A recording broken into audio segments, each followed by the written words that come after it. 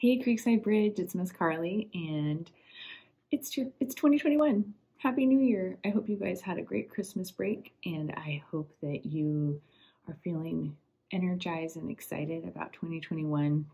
I know that 2020 was not the best year for a lot of people, but if you were watching last week's video, uh, I encourage all of you to think about 2021 and think about it in terms of the good things that happened and the bad things that happened, and to kind of just let those things be in front of you and be real. If you're a writer, you could write it down in a journal.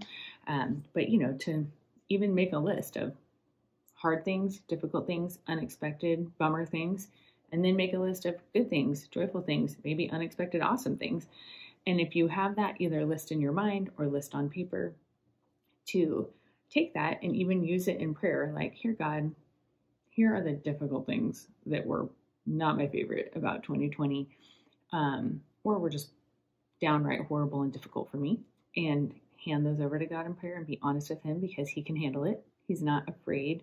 You don't have to be all proper in your prayers and therefore hide the hard things. You can, in your prayers, be honest with God and tell Him the things that are hard, and He will see that and meet you there and hopefully teach you or recover you or comfort you or just flood you with love even in the hard things.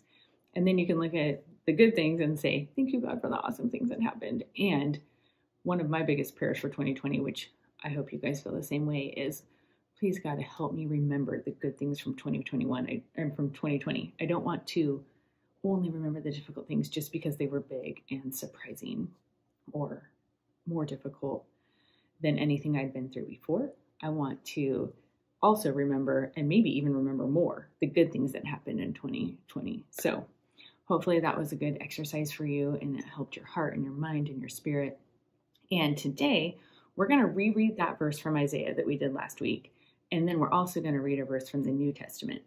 So, if you have your Bibles, turn to Isaiah, put your finger in Isaiah, and then you can also put your finger in Second Corinthians. So you can pause this video and take the time to find those spots, or you can just listen because I'm about to read them to you. So the first verse is Isaiah 43 19. And this verse says, I am about to do something new. It is beginning to happen even now. Don't you see it coming? I'm going to make a way for you to go through the desert. I will make streams of water in the dry and empty land. So, God was giving hope to the Israelites that even though they were in a place of darkness and difficulty, that God would still be doing something new. And the streams of water in the dry and empty land is kind of what inspired me this time. Not just as God doing something new, He's seeing the difficult place the people were in, which is like the desert, and He's bringing streams of water. So you can imagine if you were in the desert, how great would it be to find a stream of water, right? And water does a lot of cool things in nature. It gives us um, the things we need to thrive it also heals, um, you know, dry, empty land. It's kind of how my property looks right now. The summer here, you know, makes it really dry. And now we have water coming and my grass is greener and the plants are kind of restoring themselves and getting ready for next spring. And they're kind of hitting like a reset. And that's what water does for land. It can also do that for our spirits. We've been through something difficult.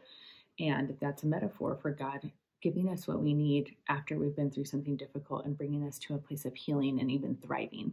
So, I like that part there. Then we'll switch now to Second Corinthians 5:17.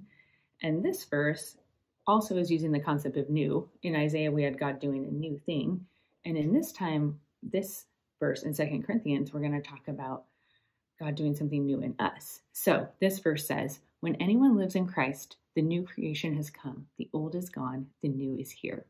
This is like a perfect idea for the new year, looking into 2021. I don't know if you guys do New Year's resolutions, but if you do, you should pause the video right now. And whoever you're watching this with, if it's your family or your parents or your grandparents or your dog, whatever, your friend, um, pause this video and tell the person you're watching it with if you have a New Year's resolution. Some people don't like New Year's resolutions. Some people love them. Some people are kind of off and on depending on the year. So go ahead and pause it and say if you have a New Year's resolution or if you plan to even make one, and then come back. Okay, so in this verse, in the second Corinthians verse, anyone who lives in Christ is a new creation. The old is gone, the new has come.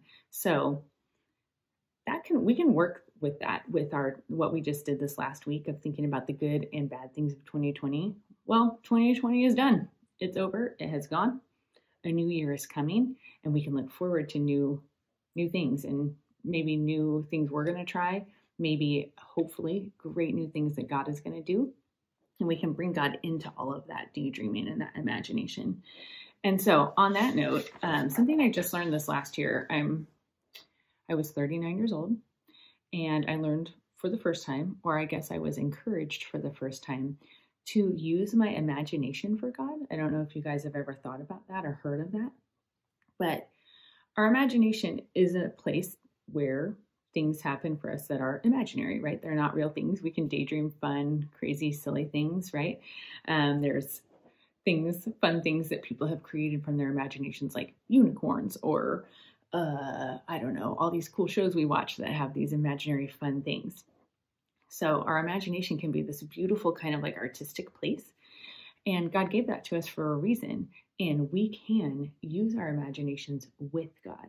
And remember at Christmas, I talked about this two weeks ago, it was said that Jesus would be called Emmanuel, which means God with us. So God wants to be with us in everything, in the difficult things, in the happy things, in the everyday things, in the big things. And He even wants to be with us or can be with us in our imaginations and in our daydreams. We can invite Him in and have Him be a part of it and be with us in that. And I just, I had never thought about that until this last year. And that's one of the reasons I started loving guided prayers was because people were inviting me to use my imagination and use my artistic side to incorporate that into prayer and to bring God into it and have it be a really cool spiritual thing instead of just a silly thing that I kind of laugh about, like, oh, in my imagination, this, this, this. I always wish I had a magic wand, you know. But that doesn't have to be silly. I can also use my imagination in a way that is cool and real and inviting God into it and making it spiritual. So, we're going to do that in our guided prayer right now.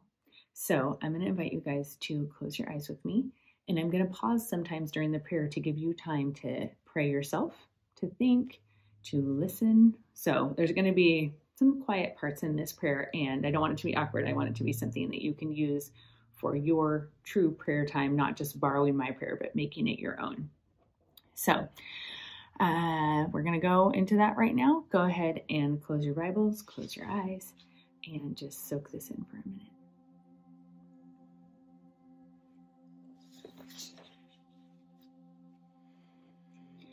God, please be with us right now and help us to clear all of our distractions out of our minds and help us to really see you for who you are and to see 2020 for what it really was.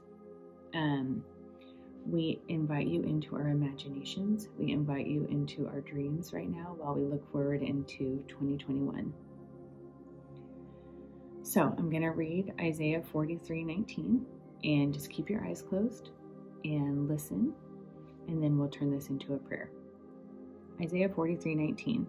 I am about to do something new. It is beginning to happen even now. Don't you see it coming? I am going to make a way for you to go through the desert. I will make streams of water in the dry and empty land. God, we thank you for the fact that you are with us even in the dry places, even in the desert, even in moments that feel difficult or hard or angry for us. And God, right now, we acknowledge that 2020 was hard. And I want you right now in your prayer to take time to imagine God in front of you and imagine telling Him or giving Him everything that was hard about 2021 or anything that's hard for you right now. Go ahead and spend some time telling God what was difficult and imagine yourself handing it over into His hands and telling Him you trust Him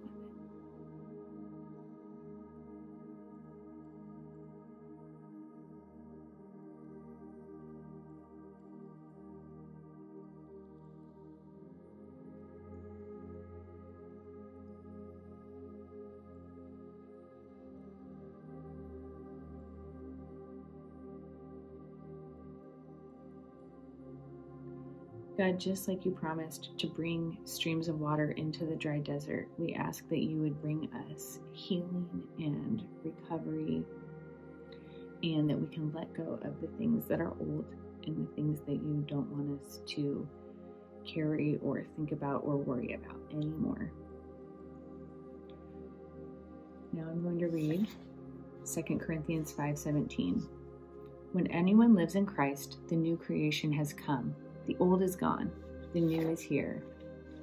Now, God, we want to take a moment and we want to ask you and just listen to what you say about what things we need to let go of that are old, or what kinds of things do you want us to heal from and recover from, or just do differently in this next year. So, take a moment right now to pray about how the old things are things you can let go of and what God wants you to be done with after 2020.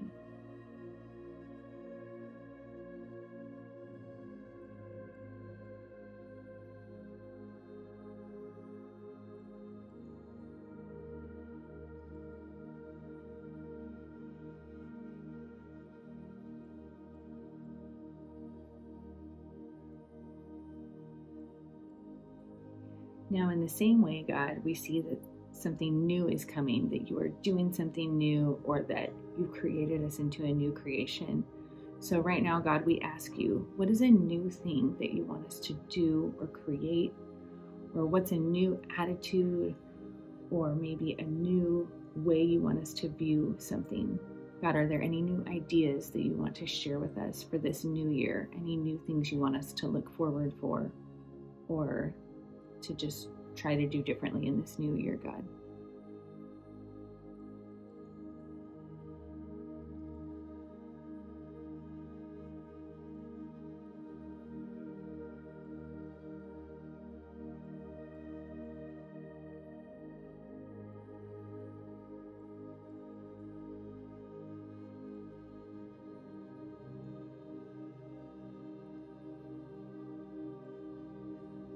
God, we thank you so much for who you are and all the things you've done in the past.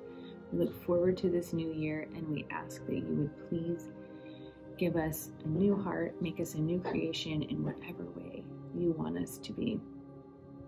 Um, and God, I just pray that you would help us to use our imaginations and use our daydreams as we look forward with hope.